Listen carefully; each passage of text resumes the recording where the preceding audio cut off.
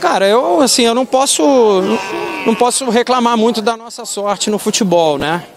Apesar de a gente ser um claro um bando de perebas, mas no Rock Go o Skank costuma, ou pelo menos costumava fazer bons papéis, né?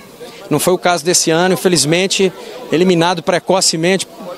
Periga a gente até pegar a segunda divisão ano que vem, que seria uma mancha na história de um time de tantas glórias, com três canecos e tal. Mas coisas do futebol, né? E enfim, o, o Rock Go a gente teve a honra de participar desde lá do primeiro, né, que foi mais ou menos é, 215 antes de Cristo. A gente jogou esse Rock Go, ganhamos e tal. E agora é, o, os mais recentes, é 2011 que foi no Rio de Janeiro a gente ganhou. E essa campanha pífia aqui esse ano em 2013 que eu tô louco para esquecer logo e que venha 2014 que o Skank possa fazer uma melhor figuração no, no, no certame.